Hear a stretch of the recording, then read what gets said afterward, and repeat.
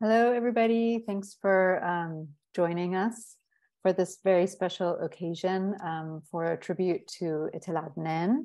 I'm Heba Amin, the visual arts curator for the Mizna Journal.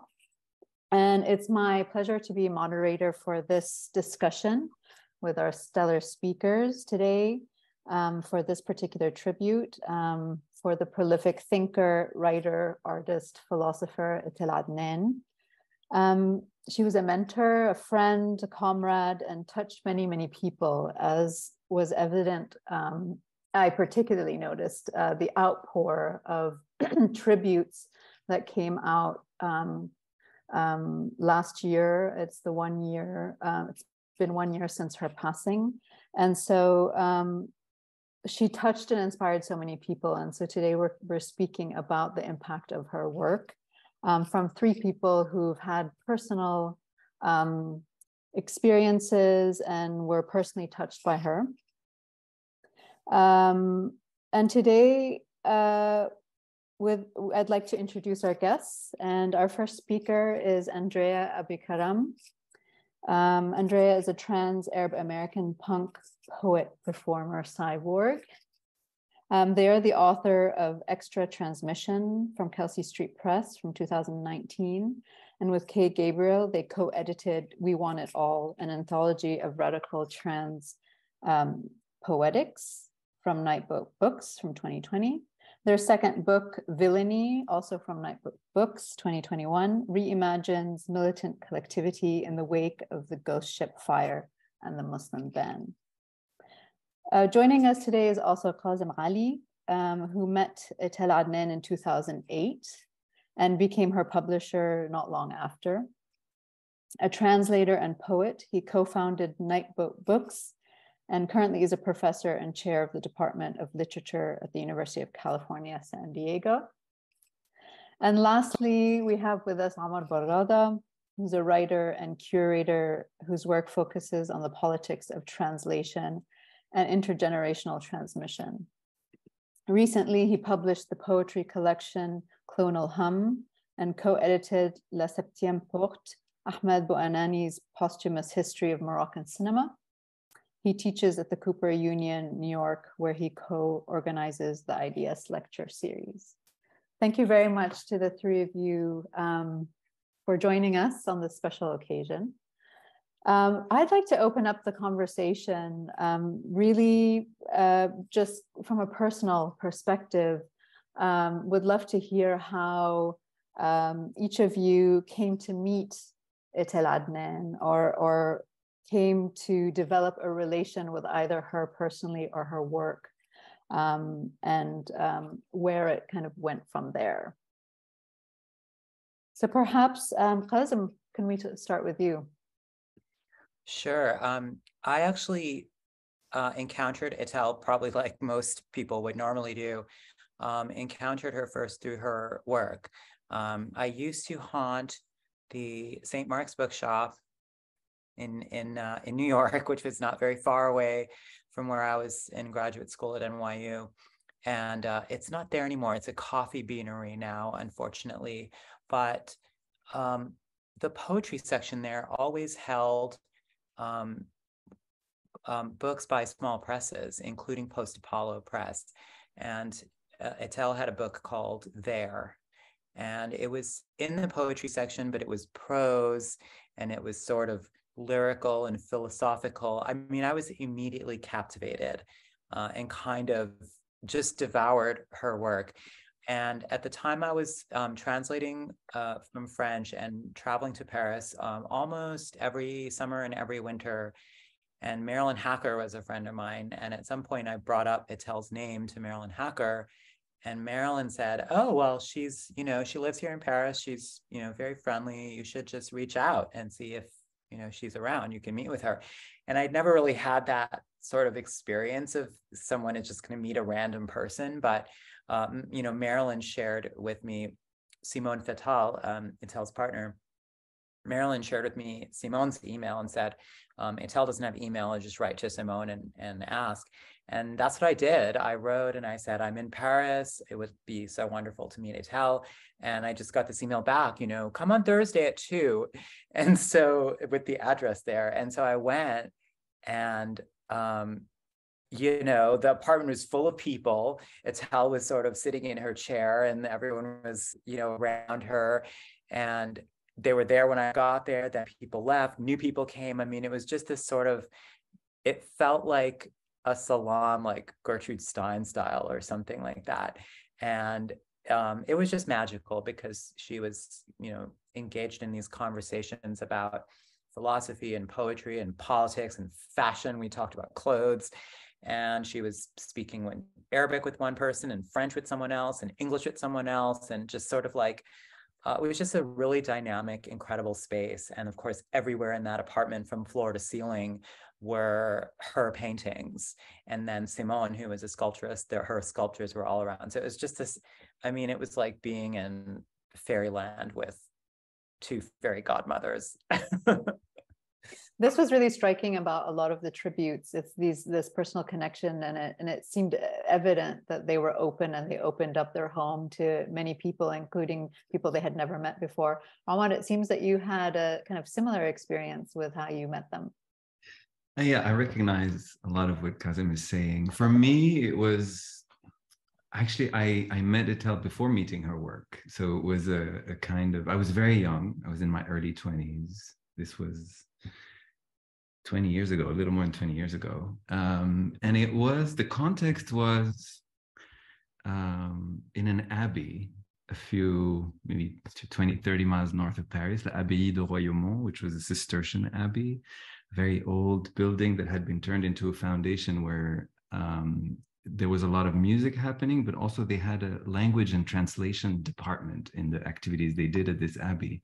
And so what they did is they would invite uh, say a poet who, write, who writes in some language other than French and gather around them a few people who write in French, not necessarily translators, but writers in the French language, who would all together in the course of one week spent together working, eating, drinking, etc., uh, collectively translate the work of somebody. And so it was the first time I was invited. Um, I was very young. I, I, don't even know if I considered myself a writer, but I had started translating some American poetry into French after a year spent in New York as a student. And there I was sitting around the table um, in a group of translators that included Etel and Simone um, and so so I got to know them by spending a week with them in this um, 13th century abbey uh, north of Paris. So I remember, and and I felt it, it felt you know Etel was in her late 70s. I was 21, and it or 23 or something, and there was this sense of encountering i don't know if it was aunties or mothers or grandmothers or but it was this there was this sense i think Kazim, i think in your in your piece in Mizna, you you talk about her as you you say, you know, Simone at some point, Etel or Simone, Etel asks tells Simone at some point, shall we adopt Kazim?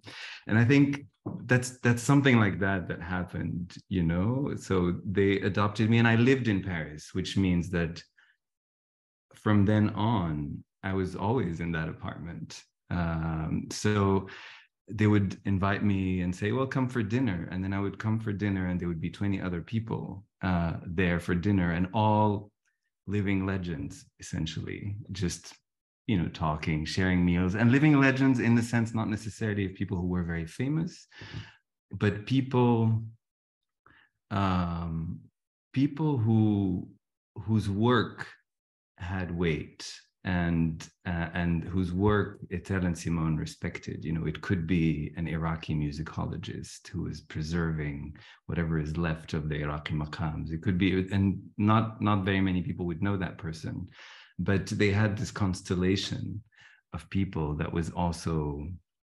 Uh, you know the that, that recomposed the worlds in which they they lived and circulated I mean, what an incredible community it sounds like that they they built around themselves. Um, Andrea, you kind of came across Etel's work in a in a bit of a different way. How what was your relation? That's right. It's wonderful to hear these stories, though. Um, I came across Etel's work first when I was doing my MFA at Mills. I was trying to write about global capitalism and the war on terror, and I was having a really hard time making it feel intimate or like having any sort of emotional layers. It's feeling very distant. And my mentor and thesis advisor, Juliana Spahr, suggested that I read Etel's book, Sitt Marie Rose, which was kind of this like mind-blowing experience for me because she writes about the civil war in Lebanon from this perspective of the classroom and the walls coming down around the classroom and like the war invading this like intimate space of learning and her ability to talk about large scale violent phenomena in in a way that's immediate for the reader and for anyone who encounters it I find like very, very powerful as a method of writing. And so I'm always striving for that in my work. And then when I finished my first book, Extra Transmission, I didn't have, I didn't know her. I sent a cold email to Simone and wrote her this love letter to Etel and asked her to blurb it. And she wrote back within like less than 12 hours with this amazing blurb. And I thought it was so generous. And I feel lucky to have had that experience and that um, her voice lives um, as part of my first book, Extra Transmission. Uh, all the stories are so so wonderful. And um, Kazim, you actually were her publisher. Um, and and and one of the things that I wanted to talk about um, a little bit more, as the three of you are writers, um, it, it has speaks about this idea of writing as drawing um, and I'm curious as, as her publisher, how you kind of engaged with that or interpreted that. Um, I like that idea of, of, do you say drawing is writing or writing is writing? Writing is drawing. Writing is drawing. Yeah, although in her case, the drawing is also writing, which I think is really interesting. Mm. Um, and, you know, her work wasn't always legible. I mean, she was writing she was writing poetry, books of poetry, but they were not really um I don't think she hit the kind of like that spark of genius until she left behind that form of the typical lyric poem and entered into um, so she had written prose, um, including Sitt Marie Rose, the novel, and her earliest work was actually in journalism. Um, and then she had published some poetry as well, early with um, Post Apollo Press, which of course Simone founded, gave up her career and founded the press in order to publish Etel's work, and then came to publish many, many other people's books. So that's another kind of um, community building um, that happened, of course, post Apollo Press.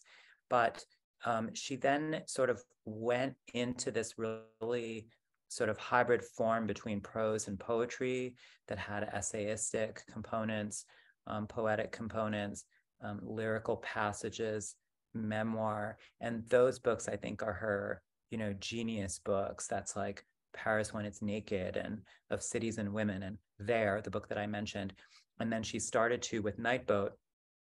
So after she published In the Heart of the Heart of Another Country, which was sort of this memoir in fragments that she published with City Lights, we um, were at that time kind of expanding Nightboat a little bit. In the early years, we were very small and only publishing maybe two, three books a year. And Stephen Motika had actually come on and taken over from me as publisher and director of the press. So I, I wasn't running the press anymore. And it gave more time to think about you know who should we be publishing?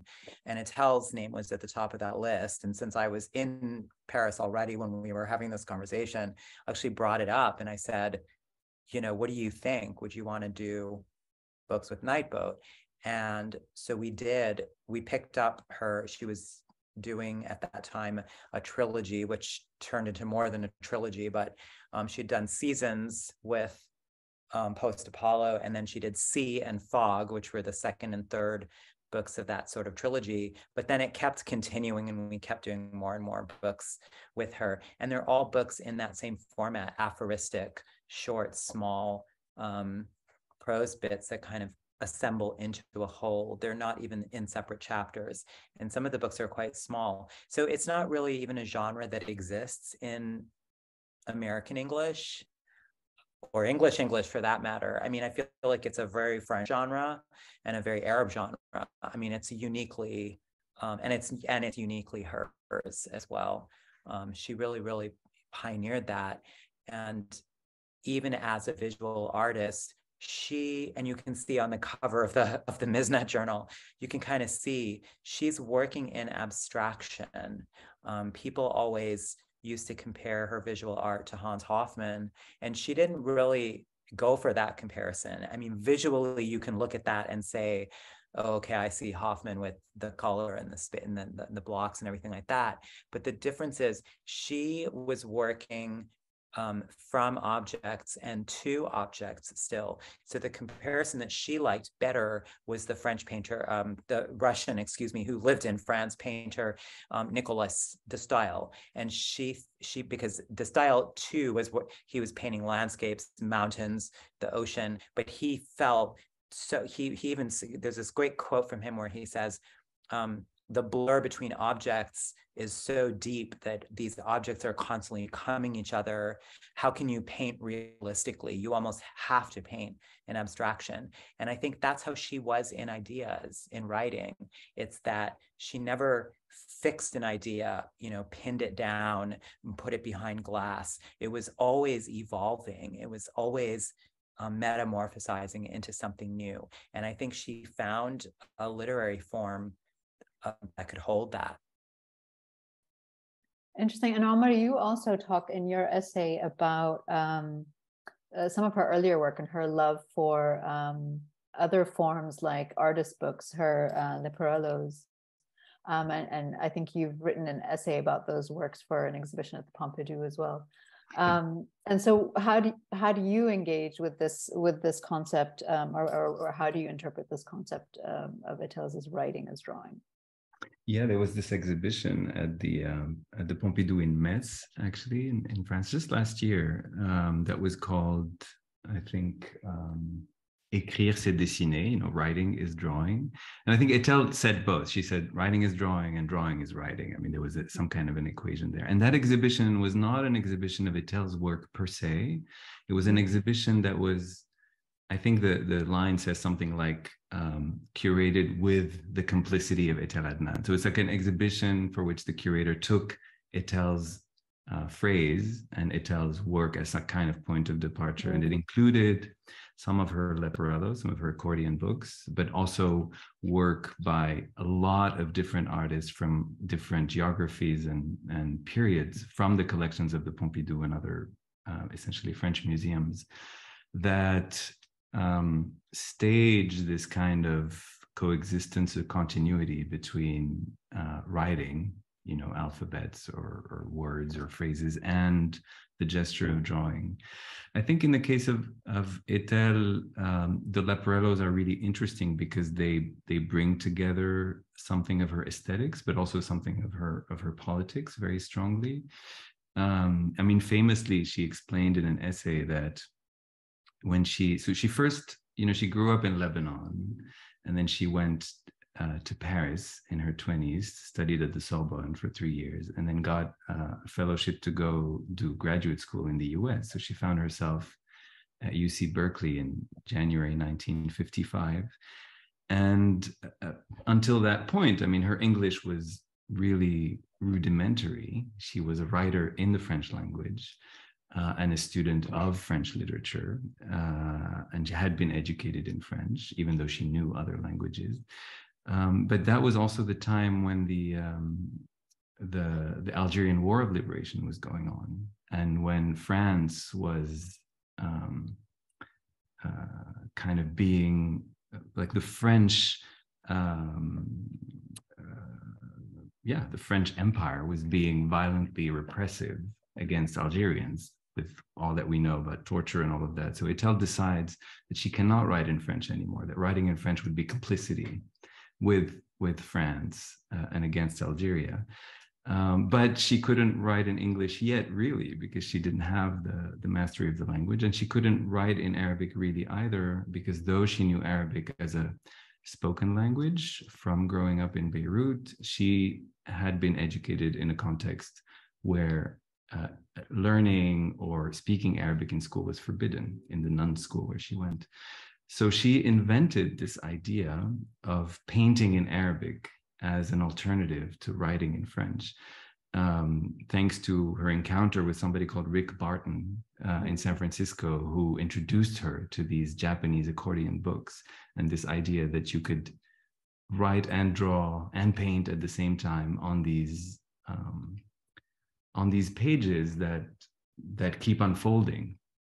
So um so what she did with that was was very beautiful because she she her all of her first accordion books were um she would take poems by uh, Arab poets who were her contemporaries and copy them with her own handwriting into uh, the leporellos and then accompany them uh, with visual work uh, color, drawing, line.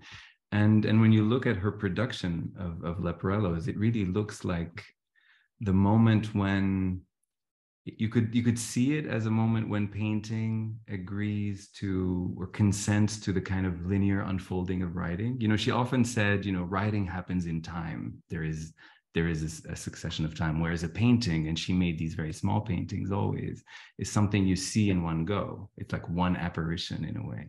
And the Leporellos are this place where where both are happening at the same time, where mm-hmm. where writing appears as a visual um, activity and uh, painting or the visual or drawing kind of unfolds in time. It's like um, it's like the leporellos are these slowed down drawings in a way you know like it's um it's mm-hmm. um and i don't think it's it's only because a poem requires space you know that it needs to be written over a number of pages but also perhaps that this project of painting in arabic is also a way of finding a kind of continuity in time and space you know like like reconnecting with something that was not always present to her or that was no longer present to her because of exile I mean, I read that she was also um, similarly speaking about weaving and tapestry in a similar way of the image being produced line by line, um, as opposed to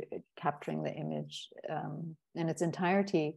Um, and as far as I know, she did a handful of, of tapestries um, and the Leporellos. Um, is it true that they were kind of earlier in her artistic life she was kind of working on these um, accordion books. Was she was she also doing them later on in life? And i'm curious why she kind of didn't continue with these um, with these media that she felt kind of strongly connected to.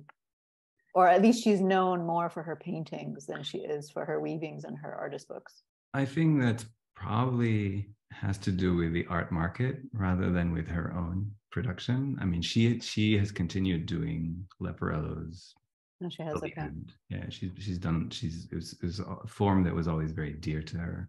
Yeah, because it's she liked the the tension of it. She would say, you know, it's a Leporello could have you know many many pages. It could be something that unfolds over several feet you know uh, but she said you, it's a there's a tension in making one. You can't stop and then take it up later. You do it kind of in one go in a way because um because it needs to hold that that tension the tension of a painting but over all of these pages in, in in a kind of way. And she did it no she did it from the early 60s and I think the the probably mm. the, the last ones were probably from her last year. I mean, I haven't seen the, the last ones, but I know that just a few years before she died, she was definitely still making them. Okay. And they changed in form. So the, the, I said the early ones were all a kind of connection to Arabic poetry, a painting in Arabic, as she said. But then their their forms varied. I mean, she did some using uh, texts by other poets in the English language. She did some that had no language, that were only drawings or motifs or signs. Um, so it became a whole a whole genre all in and of itself. Mm-hmm. And the tapestries, I think she actually, I have it here. One of my favorite books by Etel, which is not a very well known book, is this one. It's called La vie est un tissage. And it was translated into English. It's called Life is a Weaving. And um, it's a set of letters that she wrote in 1968 uh, to a friend of hers. I don't know who this person is, but a friend who was um, called Claire Paget, who was living in Beirut at the time. And she writes these letters from California um, during the time when she was uh, teaching at Dominican College in California. And, and she took weaving lessons. No, she took lessons, um, natural dye lessons. Uh, it was a workshop, it was a weekly workshop for 10 weeks. And after each workshop, she would send a letter to this friend in Beirut. And in the first letter, she says, I will send you letters after each workshop so that um, you can keep a record of what I'm learning here so that someday in Beirut, we will start a workshop uh, of weaving and natural dyeing. Uh, and it's it's extremely beautiful all that she says because it's at the same time some technical knowledge about natural dyes uh, and at the same time various notes about living in california you know going to jazz concerts thinking about um, thinking about how um, um, you know Native Americans used uh, natural dyes in certain places, but but the and but also the effect of say um, atomic testing on on some of that. So it's it's a this kind of in the form of letters to a friend, much in the same way as the better known letters to Fawaz that she wrote in Of Cities and Women. The, this kind of mix of the very personal, the very quotidian, and the, the cosmic and the political in a way. And the and yeah. the and the weaving for her was really interesting because as she said you you will you never see the piece until it's finished. So it's like a it's like a, a trajectory into the unknown. And and similar to how uh, how she, she, was talking about writing as well and and um, how that unravels as well. I mean i think it's incredible to look at how um, fluidly she not only um, went between languages and geographies, but media as well. And one of the things I was struck by um, is uh, her reference to uh, translation as transportation. Um, and this is something I'd like to ask all of you, as again, as writers who are working across geographies and languages. Um, how did you, or how do you connect to this idea of of translation as transportation that she has addressed? Um, well, I loved hearing this story about um, it tells what you know working on those accordion books because one of the things I always remember about her is that she always just dove into whatever the next thing was you know? She wanted to write a novel she wrote a novel. She felt like writing a play she wrote a play. And we actually had this conversation after that play was written and staged. I think someone invited her to write it um, called um, uh, crime d'honneur she, eh, you know, she wanted me to write one. She said, "Oh yes, you must. You must write a play." You know, and I was thinking, like, I don't want to write a play.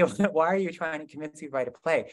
But it was just she'd had fun doing it, and so she thought, why shouldn't we do it? You know, I think the creative process for her was natural it didn't matter what it was if you know compared to the way that i think it's the it's our residual you know um, enslavement to the capitalist system that we labor under, but we think, oh, I am a poet or I am an essayist or I am a fiction writer. We don't think of ourselves as just creative people who can do whatever we feel like. We can make dance, we can, you know, paint or take pictures or, you know, do whatever occurs to us. And I think she had a playfulness about things. I do remember the first time I was at that apartment, the first time um, when I was about to leave, she said, no, no, I have something to show you. And we went into her bedroom. She took me into her bedroom and she opened the drawer of the dresser, the top drawer of the dresser, where, you know, I think probably most people keep their undergarments there. I mean, I know I do, but her, the top drawer of her dresser drawer was full of, I mean, and I mean full, packed with the little the little accordion books. And she started pulling them out and showing me this one and that one.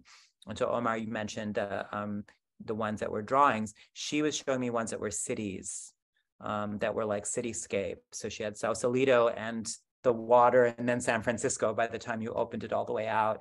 And she had Paris and she had Beirut. She had all these different cities. So I don't know what somebody has those right now. I hope eventually they do get published, but I've seen some in the catalogs, but there are many, many. I can attest to the fact that there are countless more of those somewhere in her apartment in Paris. That's not an answer to your question. I'm sorry, but I, I felt like I wanted to add that. Oh, no worries. I love this idea of translation as transportation, especially as Mm. someone who like I don't I didn't grow up learning. I didn't learn Arabic growing up. And so it's something that I've like tried to learn as an adult and is like an ongoing process and challenge for me. And I also really relate to her origins as a journalist and thinking of myself as a documentary poet. And I love thinking about like translating source documents and data and dense material that is kind of unreadable to many people into a language of poetry that is more is more easily able to be encountered and read and um, has a wider reach and i just love that as like an idea of translation and in the last few years i've been experimenting because of my struggle with trying to learn arabic i've been experimenting with writing in english but from right to left and a different type of syntax emerges when I do these experiments. And also another thing that's interesting about it for me is I'm left-handed, so it feels very natural to do this physically, like in my body. And so that's I feel like Interesting. when um, Omar was talking about painting in Arabic as a, a way to kind of move through not being like a fluent writer in Arabic is really resounding with me. Interesting. And Omar, you're you are a translator, um, and and in many ways that's how you encountered her work, correct? Yes, I plead guilty, though I haven't translated in a while. Um, I wasn't familiar with with Etel saying this about translate translation as transportation, but it strikes me Mm. as something that is in French. I mean, translation. The word, if you take it, if you, you know, translation in French is traduction, but translation, which would be a, a false um, homonym in a way, like you know, the same word in French, translation is transportation, is like moving something from a place to another, and there may be something to that. It makes me think of. Um, you know of of the way translation has functioned in her work um, and especially with regard to Arabic as as a way of um, I mean as a way of transporting her work into Arabic literary communities that maybe because she was writing in French and in English um, you know belonging to them wasn't necessarily as obvious to her um, I feel like reading something of a, a passage from this book because it always struck me, uh, and maybe it answers some of the questions. It's, it's in this book, Master of the Eclipse, which is a book of essentially a book of short stories. I mean, Kazim was, was saying something about the the genres of, of Etel's writing. And to me, you know, each book invented its genre almost. Like if you look, this is a book of short stories. She wrote plays. Sitt Marie Rose is a novel um, there books of lyric, you know, series of lyric poems like The Spring Flower's Own or The Indian Never Had a Horse. There is some kind of wildly experimental work uh, with uh, line breaks, as in the book called Insomnia, or book that merges the poetry and these hieroglyphic signs in the Arab apocalypse. I mean, every book is kind of um, is kind of an experiment in a way, in, in the way that Kazim was saying, you know, she was always ready to jump into the next thing.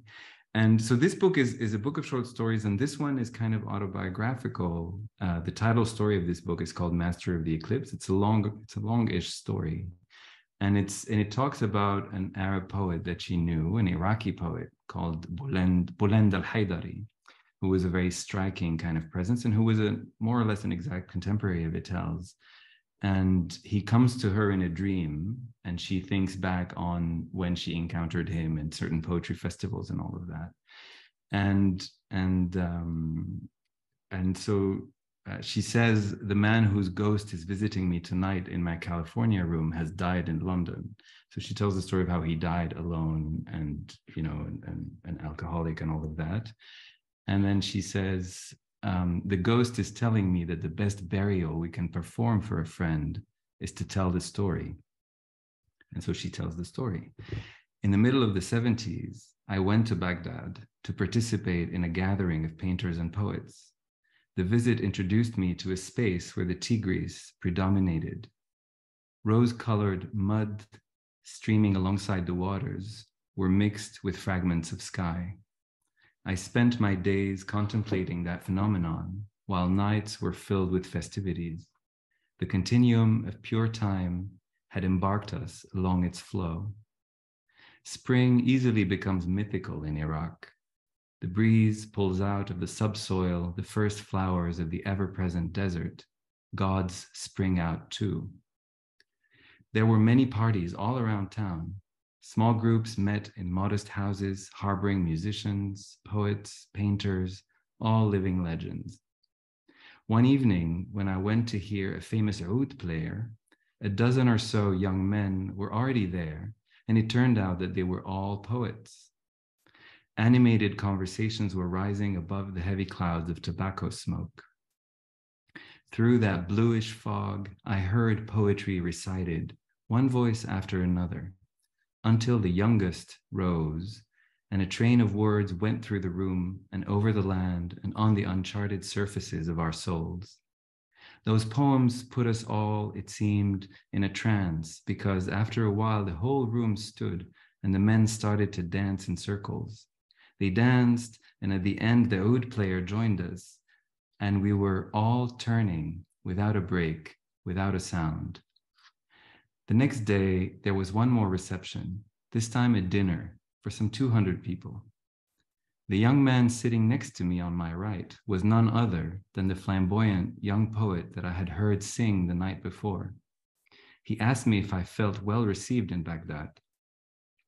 Without waiting for my answer, he introduced himself as a student of history and added in the same breath that he was primarily a poet and that poetry was all that mattered to him I was amazed by his extreme beauty, and he felt it and smiled most disarmingly when serving some dessert on my plate.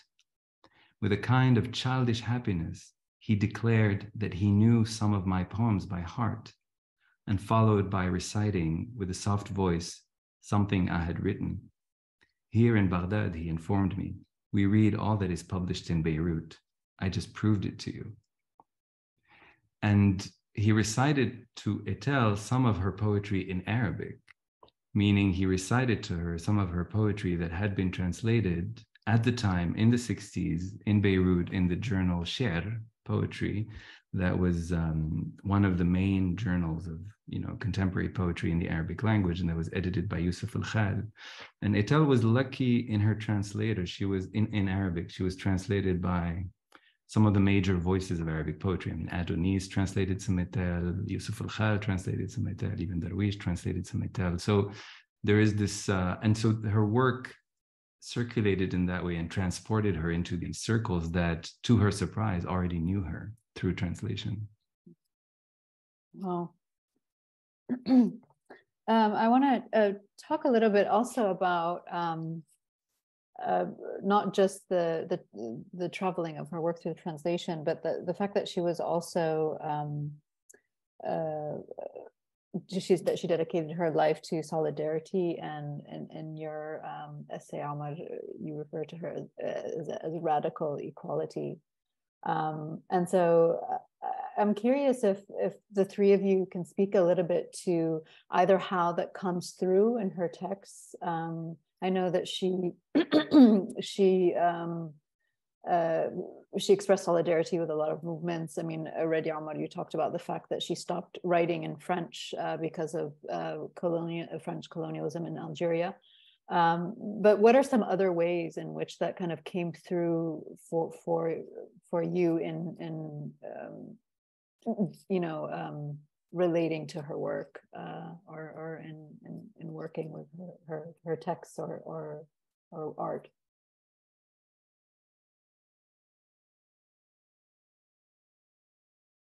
Um, certainly, you know, her writing of Sitt Marie Rose, I think, was um, incredibly um, powerful moment for her that changed and redefined her writing. Um, you know, this book set in a society that, you know, kind of fell you know into civil war between people who'd been friends and people who knew each other people who had been neighbors.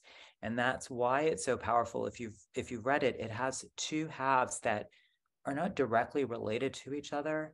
They kind of break. I mean you have this first half that is this very um you know almost cheerful kind of story of this group of friends that are all planning to make a film together and they want the this you know woman who is a writer to kind of write their scenario for them. And um, it's this you know it could be uh, like a, a, little romantic a romantic film of some kind. And then the second half of course the war has begun and there's this horrible um, you know the kidnapping of this woman who is um, Christian, but is smuggling medical supplies into Muslim communities. So she's she's apprehended as a traitor. She's a, a, a school teacher, and um, it's a kind of a Greek chorus of the people who have kidnapped her. This seven, I, I, think I can't. It's been a little while since I've read this book. Seven men who have kidnapped her, and they each have these monologues, and and it goes in cycles. So, you know, and and some of the men have the same names as the men who were in the, the friendship group at the beginning, and you, you're not really clear uh, it's not 100% clear that they are the same men. One can assume that they are or that they are it's an, an you know an analogy of some kind that um, that it can be anyone in the society that has fallen apart under duress of the civil war. So it really is kind of a it's a horrifying book. It's very difficult to read. Um, it is violent of course naturally. Um, and she really really you know she paid the price on that book for writing it too. As somebody who was from a mixed family, um, uh, her mother was Greek, her father was Turkish. Um, and um, it was, you know, even in Paris, she would talk about how um, she would go to these gatherings of people. She said she went to this gathering and this man was very rude to her and she sort of didn't know why and then he came up to her in a when she was sort of in a corner like there was a lull in the conversation and he came up to her and said you you wrote a book against us you know meaning Sitt Marie Rose so it was almost you know I mean, I think Rushdie was in more direct danger, mm, direct and obvious danger, but she was known in in circles for having written this book that was deemed um, you know, like against the the against quote unquote the Lebanese Christians because the of course the Christian men are the villains in this book because they they murder this woman. Spoiler alert: they murder uh, they murder Marie Rose for um, for for for you know betraying them or something like that. And so she was always always you know, really, really strongly opinionated about the various different things that were happening. I mean, of Cities and Women, of course, is being written against the backdrop of, of the 1990 um, 91 invasion of Iraq and aerial bombardment of Iraq. Um, she remained concerned and, and, and a strong, strong advocate for Palestinian solidarity with, you know, radical and uncompromising anti-Zionist politics um, her entire uh, entire life. She never she never gave one inch on that. Um, you know, she hated the Oslo Accords, uh, as as many people did, including Darwish. And um, you know, I think she really, really um, modeled what it was like to to be a writer in a in a in a complicated and hostile world.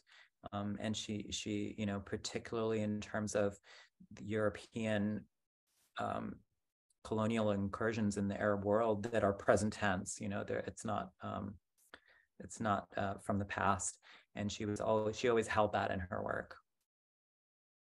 I mean, Omar, you said something in your essay that was really striking in relation to that, where you said she has her way of looking apocalypse in the eye. Yeah. Um, well, she was not afraid. Etel was somebody who was fear, you know, in her way, you know, she was this small person and this beautifully um, a childish person at times. You know, she had this twinkle in her eye. She had kept through the end of her life this capacity to wonder at life. I mean, to have a meal with her was a joy because suddenly she was so focused on what she was eating and drinking that everything else seemed to vanish. And it was just a simple, pure joy in the enjoyment of life. Um, and so, but at the same time, she was, um, yeah, she was fearless in terms of of her politics. For instance, uh, one of the anecdotes that comes to mind now is when she, uh, so she, you know, I said earlier that she came to the U.S. to do a PhD, which she ended up not finishing or deciding to drop, but she did become a professor uh, for 14 years at Dominican College um, between 58 and 72 and one of the main things she was teaching was aesthetics the philosophy of art. She was a professor of philosophy. And um, and she and she said that she realized very early on that her students didn't know what was going on in the world weren't interested in current events and weren't reading newspapers. So she decided that as part of the course on aesthetic philosophy everybody needed to read the paper every day. Um, so there was this this idea that you have to face you know the world as it is. Like at some point i think it is in the in the of cities and women she says um, uh, that she, you know, she says, I know that seeking political and philosophical notions in the street is like trying to construct a barrier to hold back the ocean, but I won't look elsewhere. So this idea of, of course, she's somebody who's read a thousand books and who could talk about Nietzsche all night long if, if, and, and loved to do that, but it, it couldn't, she never divorced it from uh, politics and from the world. And so, and also what I would add is that she had always known the apocalypse in a way, like from before she was born. I mean, she was born from the relationship between a Syrian man who was an officer in the Ottoman army mm. and who was at the time stationed in Smyrna, where her mother was from, her mother being a Greek a Christian. So the basically this was uh, they were they both represented enemy um, peoples or factions in that place. And the the the ottomans destroyed smyrna at the time. So it could have destroyed the relationship but her parents somehow you know their love was stronger and they remained together and, but they had to leave and and that's why she was born in beirut. So she was born in beirut to two people who were exiled whose worlds were finished both of them. You know she always said that that smyrna had been destroyed. Her mother had lost her her childhood paradise. And the ottoman empire was no longer. So her his her father who was this army man also had lost his world. So, so she grew up with people who were completely out of place where they were when she was a child. Mm. and it's like um, it's like she always had a notion of what the the end of the world was. And she witnessed many en- the ends of many worlds in a way. So it was not something that she could ignore or look away from uh, which which is maybe what i meant by she she looked the apocalypse in the eye. Right. Well and and i think you also mentioned that um she's allowing herself to be carried along despite the certainty of apocalypse. Um, so it's like working through those, working through those conflicts.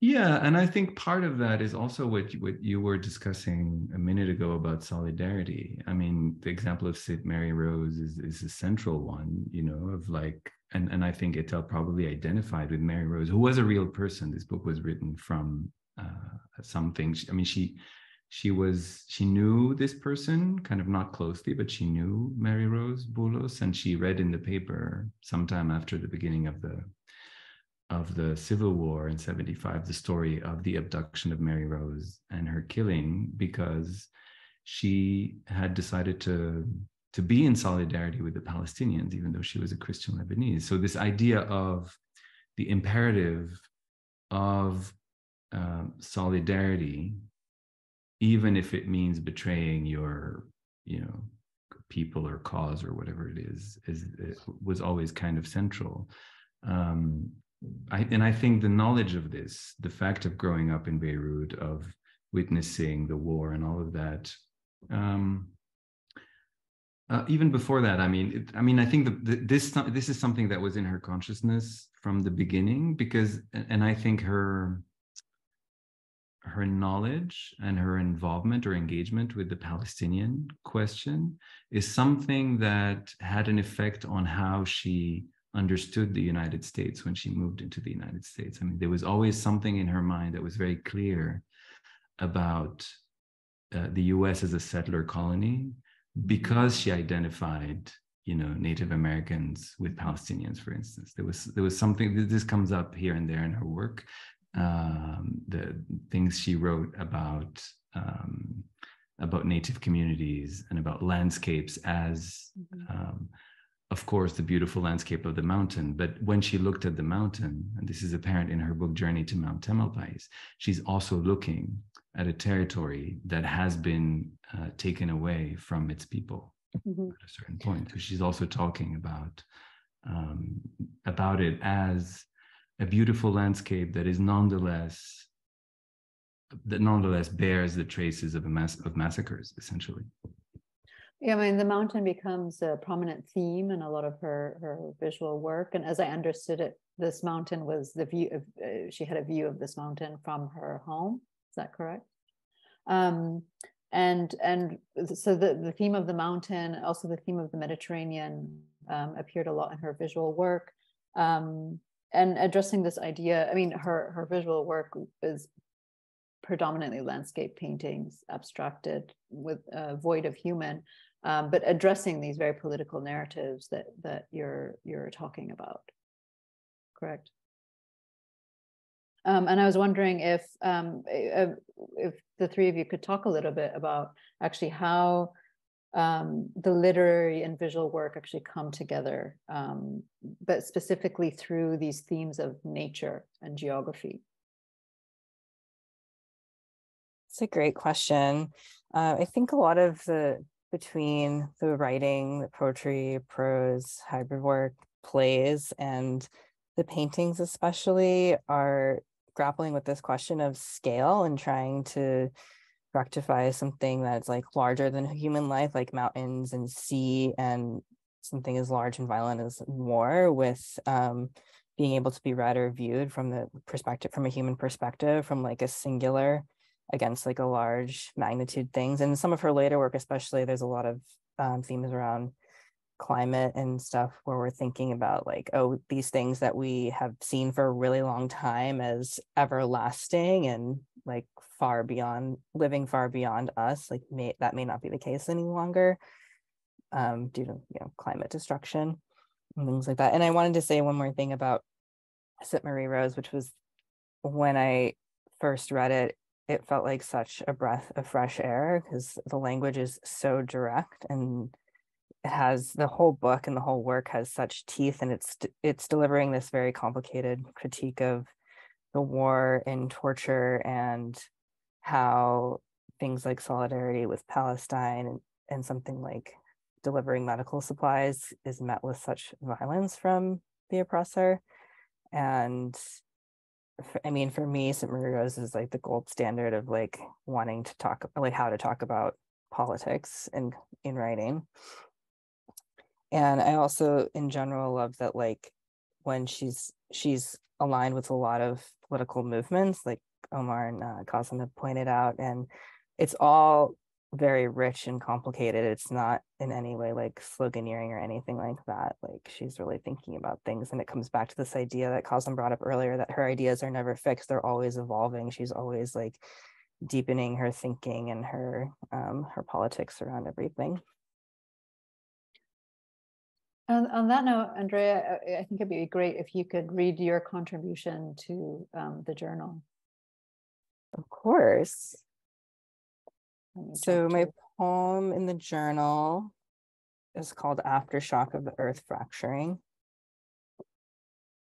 Sorry, I'm just I'm just jumping. There we go. Oh, there it is. Now, not more than ever, now as in always, now as in history, we are challenged to swallow the magnitude in all directions of wartime death. Never a single concentrated strike, often unpiloted, arrayed, networked over entire regions of the earth simultaneously. By war, I mean now, and by death, I mean all those that bubble up from buried deep in marrow, shadows caught in the back of my throat, all the shadows that stretch out the lines in my skin I never thought I would get, not because I'm vain, but because I thought for sure I wouldn't make it this far out here, not because I didn't, don't want to. Obviously, the world would end before now. Its spinning iron core shuttered and frozen. Magnetism wanes as the atmospheric shield exhales. In finality, we get bombarded with space trash. In finality, the war continues on as it always has.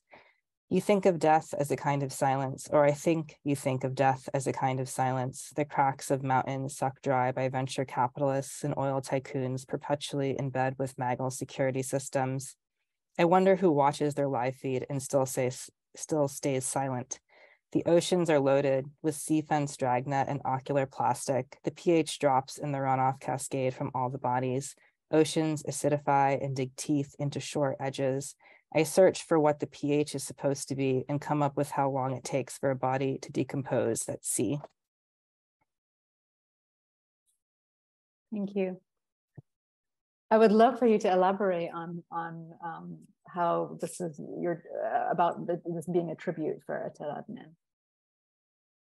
Yeah, I wanted to. So like I said, um, Sitt Marie Rose was really the first work that I read of hers and made a huge impact on me. And I wanted to write this piece kind of in between Sitt Marie Rose and her last book, Shifting the Silence, which is very like meditative and aphoristic and um, thinking about, you know, her imminent death and also looking at the sea. And there's some themes around um, mountains and sea and like the magnitude of nature and also how war is degrading all of those things and it, it's kind of this complex um, place to write from because it's like these things of natural beauty which she obviously loves so much and are being like affected by this thing that she's been trying to fight her entire life.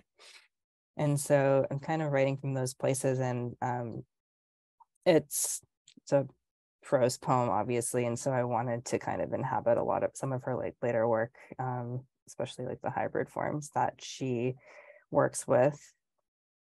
And um, let's see what else. Yeah, I wanted to complicate the vision of the ocean and have the war and the effects of war like rub right up against the ocean, like literally bodies at sea and kind of explore the uh, the aftermath of what that could look like, like literally, like how it affects the ocean and bodies at sea um, mm-hmm. decrease the pH and acidify the ocean. Mm-hmm. I mean, she is dealing with these really difficult, uh, bleak topics. But one of the things that emerged a lot in, in the tributes um, um, that so many people wrote about her um, was that uh, she was also often honoring love as a concept. and um, I love that she could talk about such bleak things and violent things as war. Um, and yet somehow the predominant thing that comes forward is this idea of love. And I and I would just just want to know if you had any if any of you had anything to say about that.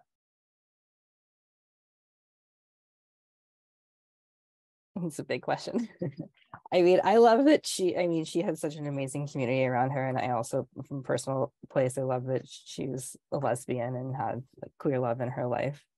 And that makes me really happy.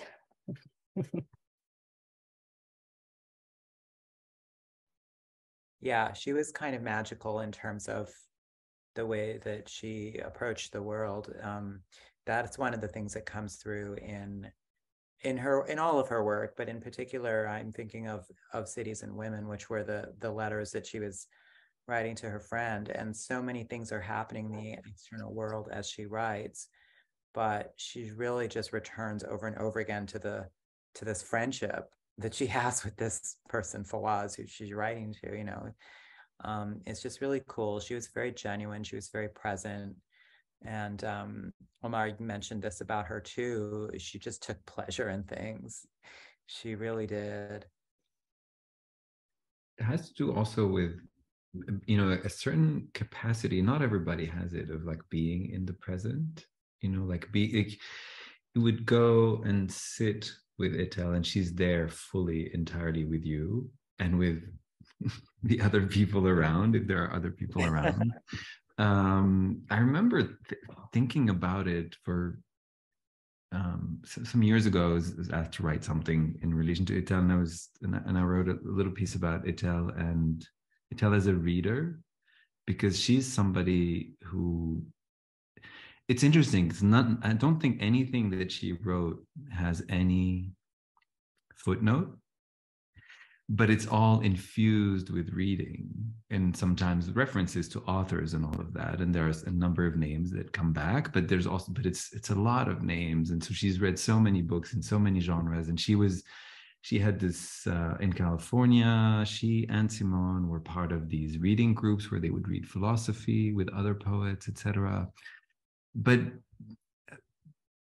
um, and the reason I mention this is that it was it's always fascinating to just sit and listen to Etel's stories. It could be biographical stories of like her, you know, spending time with Nina Simone in Beirut for the Baalbek Festival in the early 70s, or like you, know, just the most incredible stories that would that that and there were always more of them. So I don't know how many lives she lived, but but at the same time, so so I would just for me, you know, the, the prize, the, the, the beauty and the pleasure was just to listen to Etel.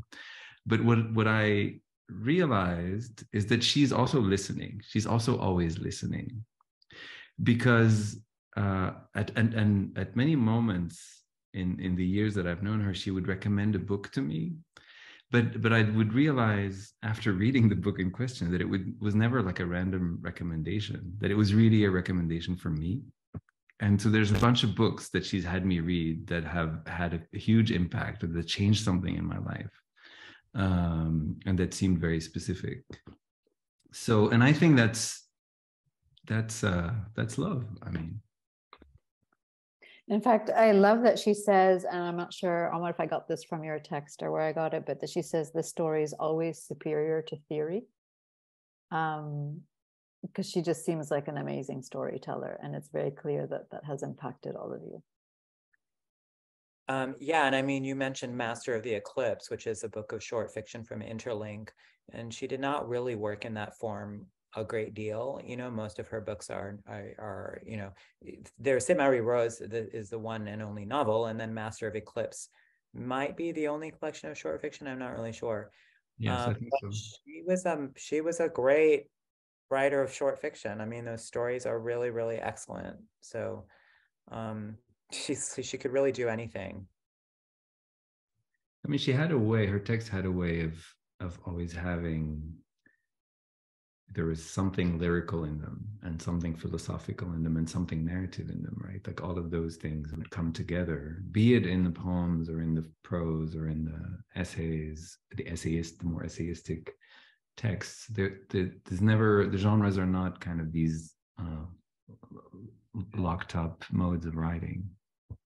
Well, and right. clearly her, her, visual work is also having a similar impact, even though it became relatively more well known in the last years, the last ten years of her life.